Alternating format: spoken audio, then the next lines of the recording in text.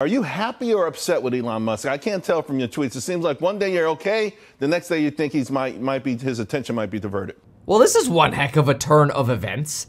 Elon Musk's Twitter has previously engaged in the removal of political posts and the limitation of certain political activist posts on Twitter through two means. One, removal of content, uh, or potential suspensions of certain accounts.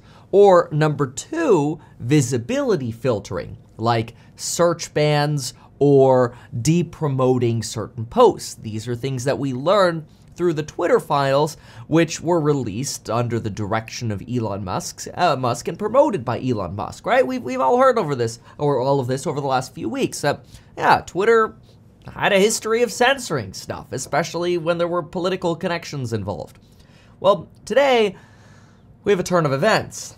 Elon Musk has censored someone he said he would not censor, or at least so it appears. Let me explain. And after I explain, I'm going to provide a little bit of insight into the or possible implications into this. Keep in mind today is the 14th, which is also the expiration of the extension for the coupon code for especially that zero to millionaire real estate investing course. It's going to be a big deal for next year. Start your studying now during the holidays. And of course, Stocks and Psychology Money, Elite Hustlers, and the other programs. Check that out, link down below. Email us for a bundle at kevin at meetkevin.com if you have bundle inquiries and you don't see a bundle that's a perfect fit for you on the website. Link down below.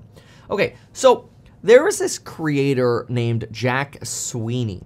Jack Sweeney runs an account on Twitter called Elon's Jet.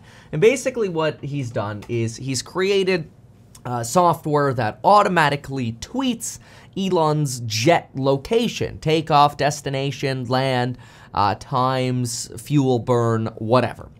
Uh, and uh, this is frequently public information. Uh, if you have, for example, the tail number of a plane, you could throw it into a website like FlightAware.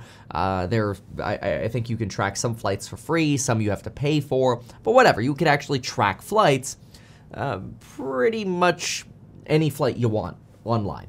Uh, there are some flights that get masked, and it's a little harder to track those, although some say you could just pay a certain fee and then you might be able to track them.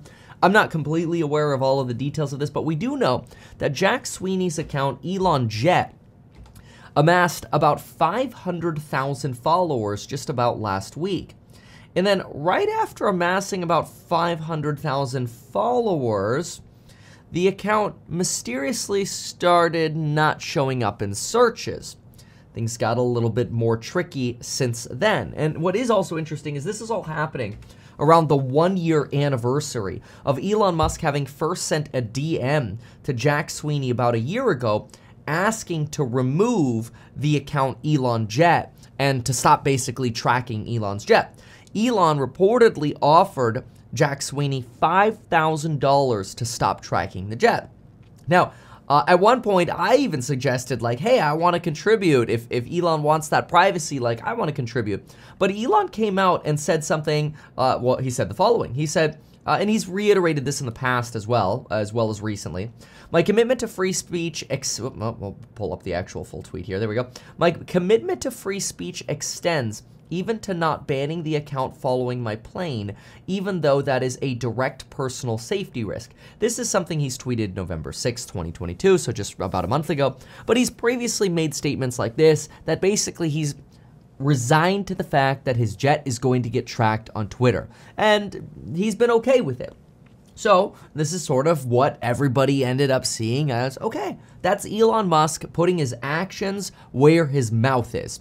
He says he's for free speech, so now he's allowing free speech. And that's also where I said, you know what, hey, if Elon's going to go all full free speech, okay, well, then obviously, you know, it's not like anybody needs to get together and try to help Elon. I mean, Elon has got plenty of money. He can help himself. I'm not trying to come across as saying that I, I uh, you know, need to help Elon, right? I'm just trying to make it clear that at one point uh, I had suggested helping, but uh, Elon was a big fan of free speech, and, and uh, that, that made that unnecessary because Elon's like, ah, don't worry about it.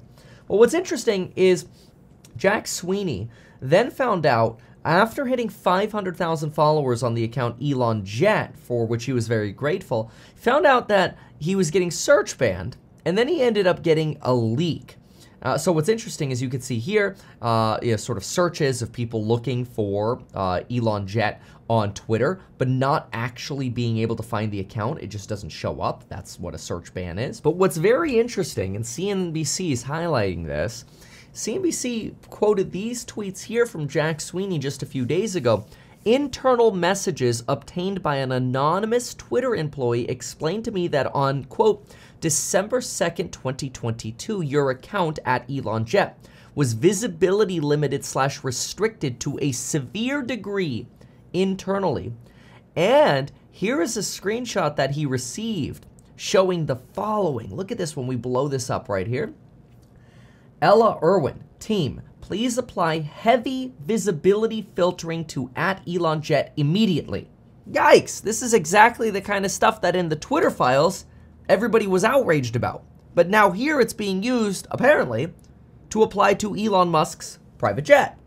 Okay, I mean, may, maybe there's maybe there's a reason here. Now, just two days ago, Jack Sweeney tweeted that it appears Elon Jet is no longer banned or hidden in any way. I think Twitter noticed my tweets and backtracked. Guilty in my book, showing here that a search ban no longer exists on his account. But now, all of a sudden, what happened this morning? Yep, here it is. The account Elon Jet apparently has been permanently banned for breaking Twitter rules. And if we jump on into Twitter here and just type in uh, Elon Jet, let's see what happens. Uh, well, it certainly doesn't show up in search. So if I just type at Elon Jet, uh, I get nothing. Let's see if I can click on somebody who tags Elon Jet. Account suspended. There it is for violating the rules. Now, when you pop open the rules, and, and maybe this is a loophole but when you pop open the rules, what do you get? Well, there is a segment under rules that does say private information. Quote, you may not publish or post other people's private information, such as home phone number, address, whatever, without their express authorization and permission. We also prohibit threatening to expose private information or incentivizing others to do so. So the flip side argument here is that technically flight tracking is not private information. So, Elon, What's it going to be? Is it going to be the free speech that uh, you had been promoting, even though it potentially risks personal safety? Is it reasonable for Elon Musk to ban someone tracking his private jet? Uh, does that mean other people who have private jets can appeal to Twitter to have their private jets not tracked on Twitter? Now, Taylor Swift gets tracked. I think uh, some folks were telling me that, uh, and I haven't verified this, but that uh, Taylor Swift might have had the most emissions for her for private jet usage in the last year. Who knows? These are all things obviously we could probably Google and find out, but it's not so important to the moral of this. The moral of this video is, and, and this is probably the takeaway, is that on one hand, Elon Musk has this tendency of strong absolutes, standing for free speech within the confines of the law, uh, standing for for righteousness about you know how wonderful Tesla stock is and how it's going to be worth more than Apple and Saudi Aramco potentially in the future. But then on the flip side, when the free speech is inconvenient, limiting that free speech, even though the information isn't private, uh, unless there's some kind of argument we can make that it somehow is, even though it's technically not, and selling $20 billion worth of Tesla stock right after pumping that up.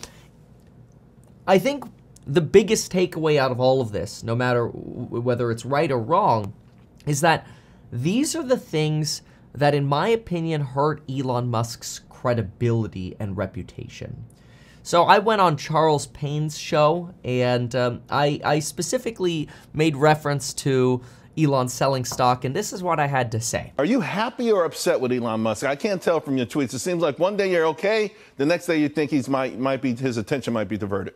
Yeah, Elon's a little bit of a shyster. okay, I love him. He makes up 20% of my fund, and we're really excited for next year. But the thing with Elon is, what bothers me the most is he goes into an earnings call, talks about how Tesla's going to be worth more than Saudi Aramco and Apple combined, then dumps $20 billion worth of shares on us right after that. So right. something, look, I love the guy. I think he's got great intentions, and Tesla and the workers of Tesla, great people, great company. It's going places. I got 30 seconds. You're here tomorrow to ring the bell. 4 p.m. close. We'll do a meetup at 5 p.m. Oh, congratulations, man. You have done so much. 1.8 million YouTube viewers. People love you. People look up to you. Now, look, I believe in Tesla long term. I believe in the Tesla crew and team. But this Twitter nonsense is just getting worse and worse and worse. And it's just going to lead to more advertisers leaving, which means a greater likelihood that Elon has to sell to support a money losing business. He's not selling Twitter, he's selling Tesla stock. So, that does create a potential short term buying opportunity if you believe in the long term fundamentals, but in the short term, it's quite painful. So, I think I've been very, very clear, although some people in the comments don't seem to pay attention to that. They think, oh my gosh, Kevin all of a sudden flip flopping on Tesla. I, I, don't, I don't even know if it's worth responding to this nonsense. I, I think I'm very clear in every video I make, like long term bullish, short term bearish even tweeted that for the people who have uh, an attention problem. anyway, thank you so much for watching. I appreciate you for making it to the end of the video. You rock. Thanks so much. Let me know what you think in the comments down below, and we'll see you in the next one. Bye.